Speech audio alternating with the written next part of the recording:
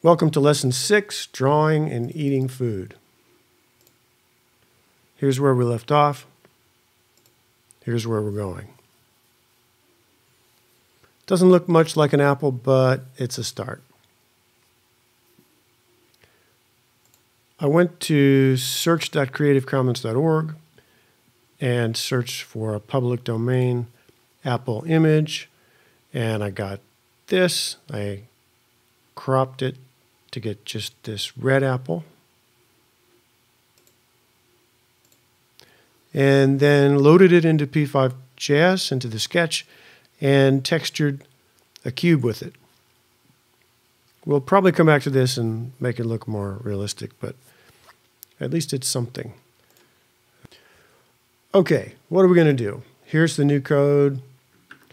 Here's a diff with the changes we need.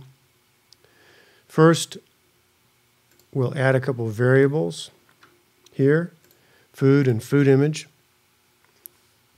Food will store the location of the food. This will store the image. Next, we'll create a preload function here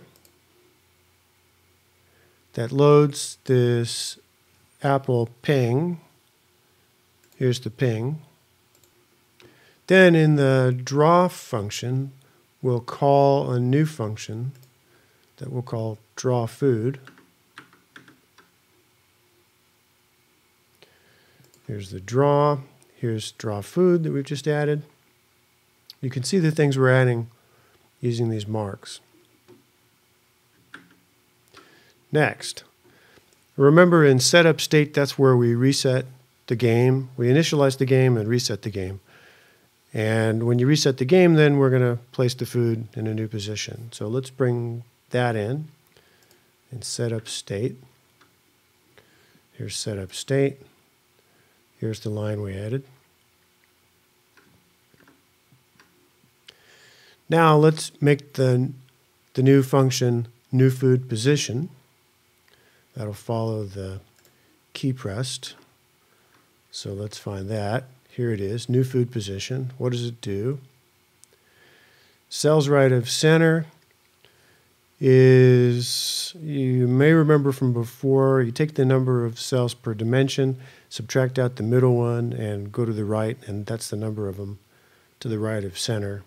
It's just useful for doing some of the geometry. We save that in a constant m just so it'll be shorter.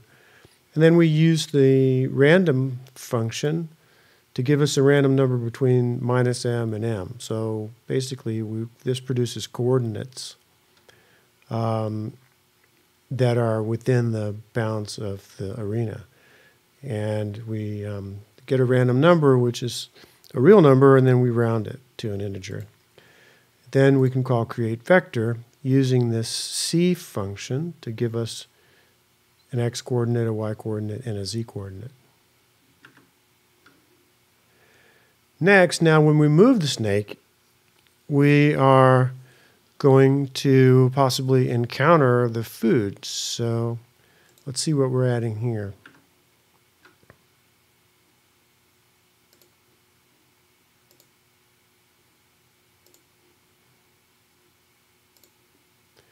This is the new part here.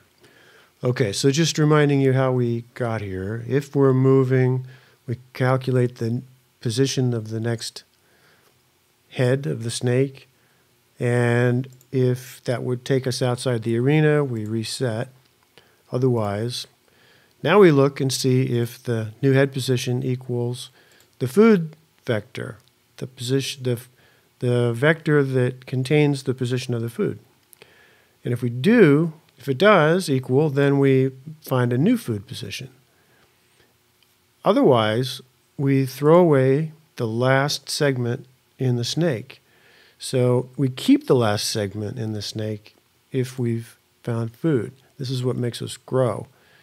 By in the move operation, we put a new segment at the front and normally drop one off the back to give this apparent motion. But if we find food, then we're going to grow and we're not going to pop off the last one. And then here, as before, I say as before, you can see this line hasn't changed. We unshift or put the new head on the front. This is kind of a nice mark here. It's saying that the line hasn't changed other than the indentation. Also, this is nice. If we click here, we can see what, what that used to look like. All right, what's next?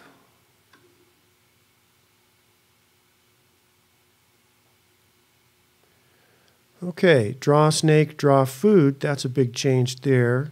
Let's bring that in and study it. Draw snake, draw food. Here's draw snake, draw food below it. You'll remember we, to draw the snake, we calculate the segment width, which is most of the cell width. And then for each segment in the snake, we draw a box, and draw the reference structures. Here in Draw Food, we turn off stroke because we've got this cube we're going to draw, and it's got the texture of the food image on it, and we don't want to have lines drawn on the edges of that cube. So no stroke. Texture takes the food image that we loaded in the preload function and says that all subsequent filling will be done using this texture. Um, at the at the food, turn the food vector into an array, spread that out, so that gives you the first three arguments, which are the location where you're doing this, and then we're going to make a box that's the item width, which here is defined to be 80% of the cell width. And then we call draw reference structures for the food also. So the food also has those, those three perpendicular lines and the kind of planes against the walls. All right, let's run this and just see if we've done what we need to do. So we'll reload. And that works. Great. Okay, let me see if I can catch one.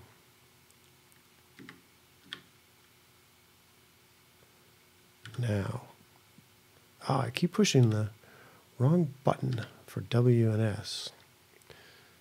Okay, here we go. There, food moves to no next location. Go up, left, I'm one too high, go down, left, get ready to push W now. Got it. There's the next food, go up. So now we have um, some food to eat and the snake gets longer. I'll get one more. Go to here and then S. There. And we're going to get it.